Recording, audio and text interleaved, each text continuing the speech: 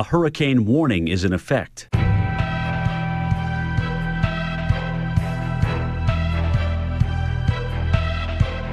Currently in our area, 74 degrees under cloudy skies.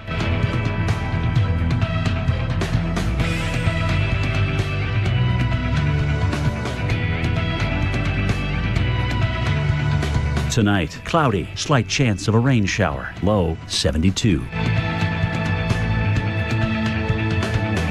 Tuesday, cloudy skies, slight chance of a rain shower, high 84.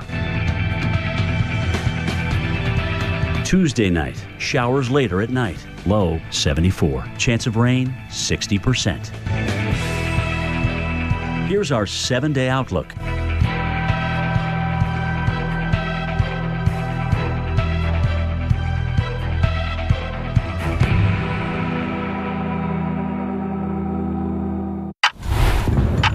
This hurricane season, Good heavens. Absolute punishment. every second counts. You don't want to be on an interstate with heavy tropical downpours. America's most trusted news network is putting your safety first with minute by minute coverage, keeping you ahead of the storm. This is a dangerous hurricane. Receive instant information from our team of meteorologists and landfall cams that bring you every angle on our TV app. This hurricane season, protecting America only on the Weather Channel.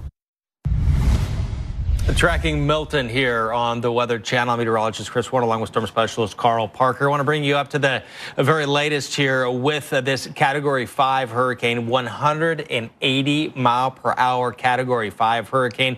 For it to become a Category 5, it's 157 miles an hour. So we are up there. It is up there. This is a very, very potent, strong storm and still intensifying, expected to be 185 mile per hour Category 5 hurricane by tomorrow morning. With uh, it does look like direct impacts landfall happening late Wednesday or overnight into early Thursday morning. And with that, expecting hurricane conditions over a huge portion of Florida.